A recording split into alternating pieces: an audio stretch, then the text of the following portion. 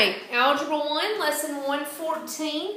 This is on exponential key, exponential growth, using the graphing calculator to graph exponential functions. Okay, pretty much what you're doing is all calculator today. So, hopefully you have an iPhone. If you don't, I don't know what yours looks like. So, this is what mine looks like.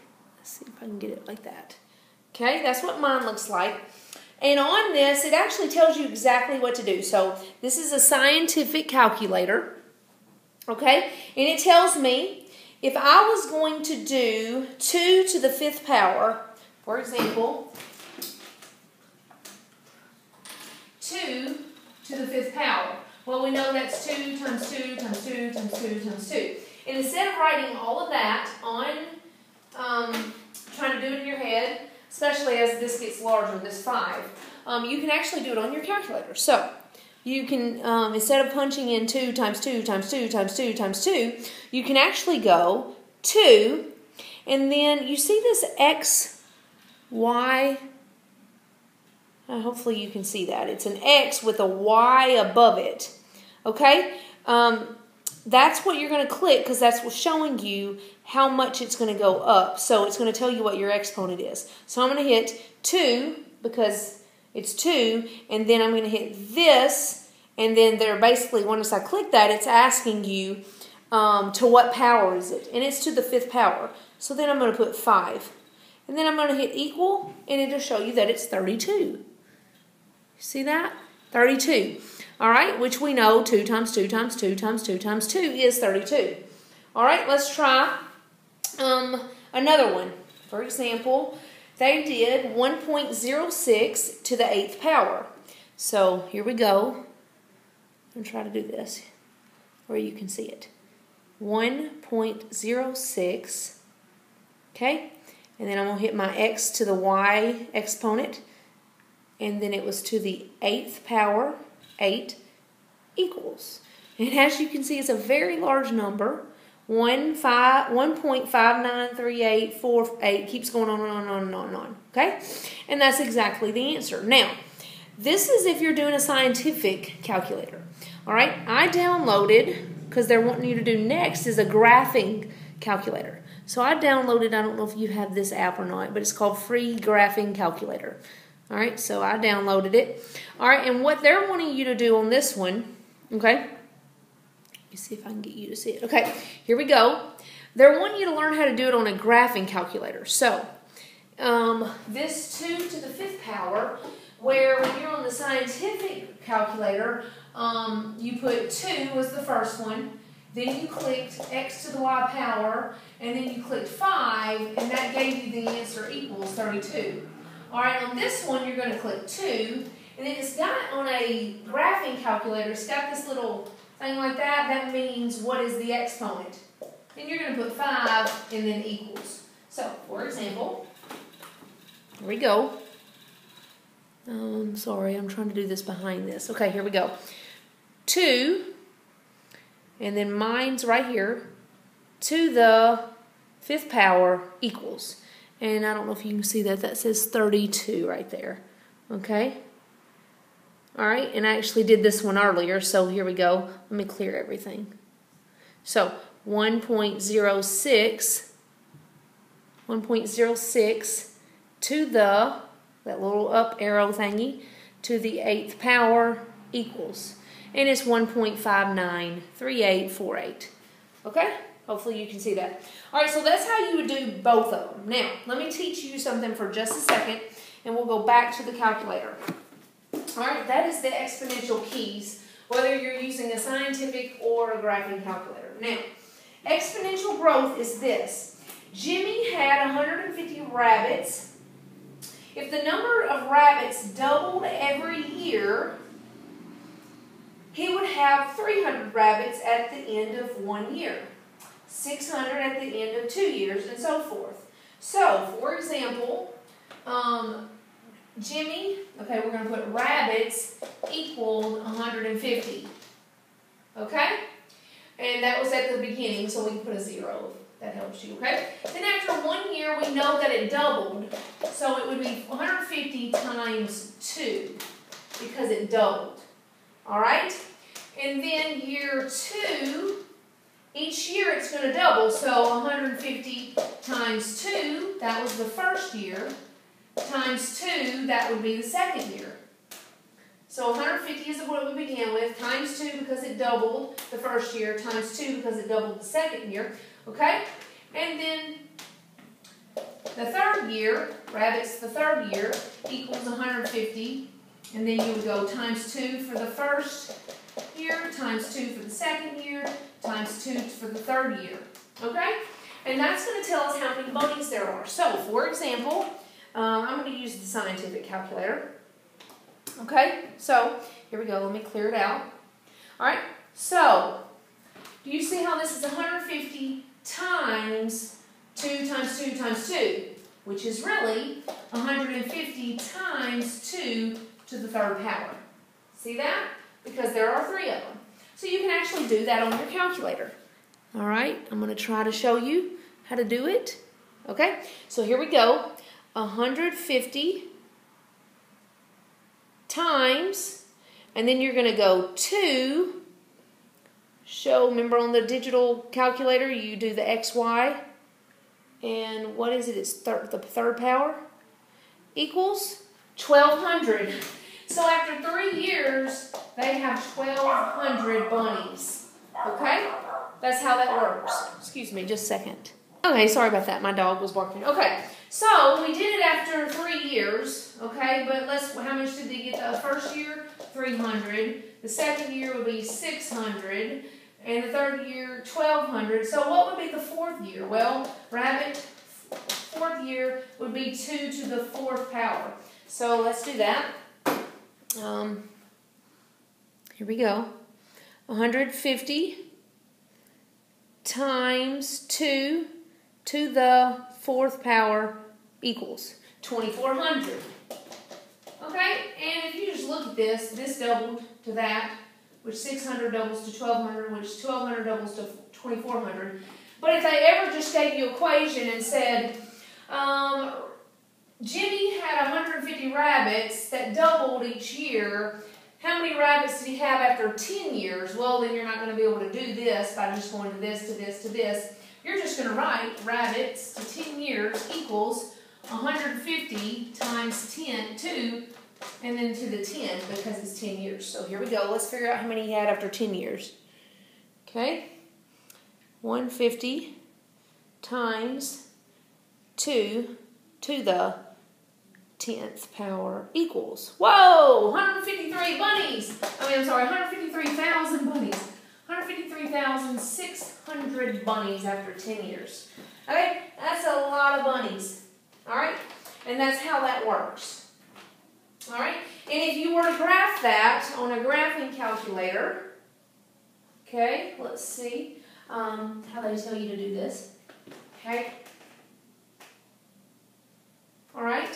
Now on this, it gives me this little look, and this just means one equation, two equation, three, three equations, and four equations. They're just give you many different times that you can do it, just in case you want to graph a red one, a blue one, a green one, and a purple one. Okay, that's how this one is set up.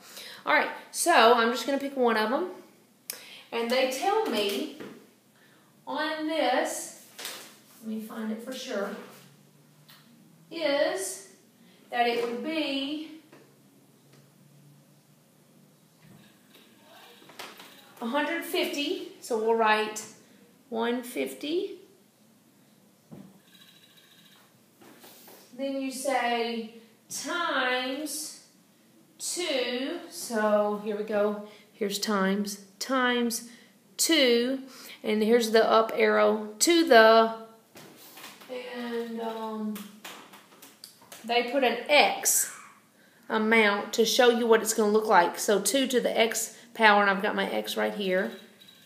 So I click it, and I hit Save, and then I go back into it, and I hit Graph. Do you see that graph? Isn't that cool, that red little mark? Okay, that shows you the bunny's growth, basically. Okay, now, yay for the bunnies. Okay, now, here we go. Um, now, we're going to move into uh, this next one, 14, 114.2 is our next problem. So here's what it says. The number of bacteria in the dish tripled every month.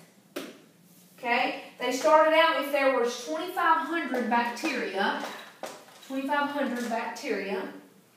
At first, how many bacteria were there in 10 months? Well, just like the bunnies, we did 150 times 2 because it doubled every year, and then there were 10 years, for example. Okay? This one, this is bacteria times, and see how this one doubled? This one, it says it tripled every month. Tripled. And then it was after 10 months. So instead of 10 years, it's 10 months on this one. Tripled every month and 10 months. So I'm going to do it on my calculator. See what we get. 2,500 times 3 to the 10th power equals, all right, so how much bacteria did that have now? 147, comma, 622, comma, 500. So, um, thousand million, 147 million, 622,500. Okay, and they, I think, probably wrote that in scientific notation, yes. So they want to they put a point after right here, 1.47 times 10, and it's to the eighth power, which just basically is this number. Okay, just written in scientific. Okay. So that was lesson, or that was example 14, 114.2. Now let's do 114.3. All right, this one deals with money. Um, so I'm going to have to teach you something a little bit different for just a minute, okay?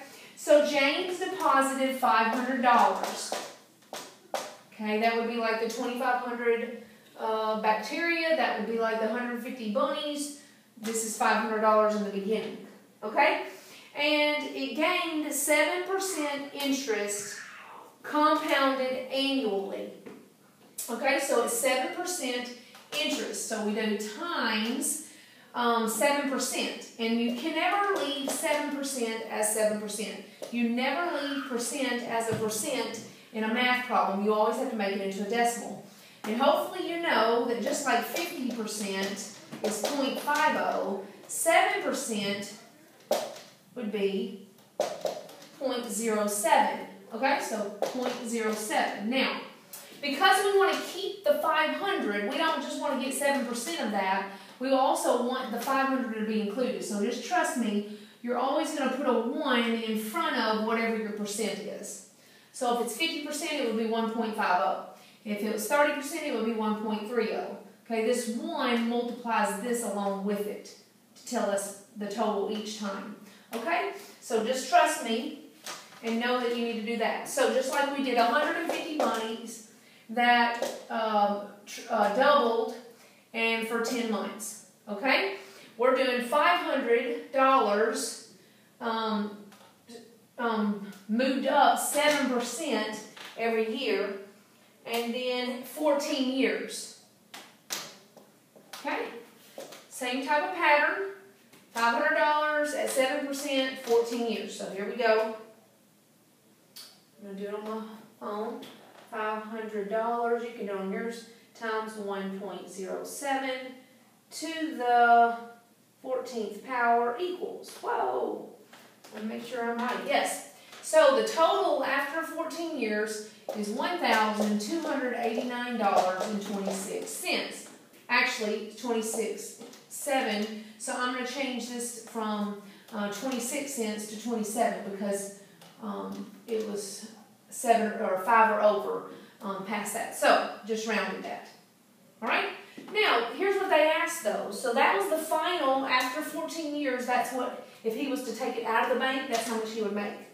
Now, let me tell you this. Um, so how much money did he earn after 14 years? There's that answer. And then it asks this, how much interest did he earn? Okay, so what we do is we take the 500 that you started with and subtract it, and we're going to end up getting 789. So basically, he started with $500. He didn't put another dime in, but he gained interest over 14 years. And that's how much he gained. So this, what he put in originally, plus this gain caused him to have this total after 14 years. So how much did he gain in interest? $789.27. Okay? So that's how you would do that. All right. And lastly, um, open up that graphing calculator because the very last part is on this. So remember how I was telling you, let me open up that graphing calculator. Okay. All right. And what it makes me do in the beginning, we'll try to come up to where y'all are. Okay. Remember how it has four? A red one, a blue one, a green one, and a purple one. We're going to do a red one first. So click. All right. And on the first one, it tells me, use the graphing calculator to graph this function. I'm going to draw on the board what they're, what they're wanting me to graph. One half, and then they've got x. So guess what? That's exactly what I'm going to do. This is in parentheses. Okay, not that important, but I want to show you what I'm going to do. Okay, I'm going to put 1 divided by 2. That's 1 half, 1 divided by 2. And then remember graphing, you use this up arrow, arrow this little doop, kind of like the top of a triangle. Click, and it's to the x power. And here's my x power right there. And then I'm going to hit save. I'm going to go back into it. That's the problem. And I'm going to hit graph. You see my pretty graph? Yay! Okay, that's the first one. All right, that is that graphed. All right, let's try another one. I'm actually going to do, um, this one says y equals 2 to the x power. Okay, again, I'm going to go back. So I'm going to go, I'm going to do a blue one this time. Okay, the blue one. The red one's still going to be on there, but um, okay, so here we go. I'm going to do 2 to the x power. See how it says 2 up kind of arrow and then x. Save. I'm going to go back into it and then hit graph. And now my blue one, you see my blue one? There you go. So we just graphed it using a graphing calculator. Okay? And that is lesson 114.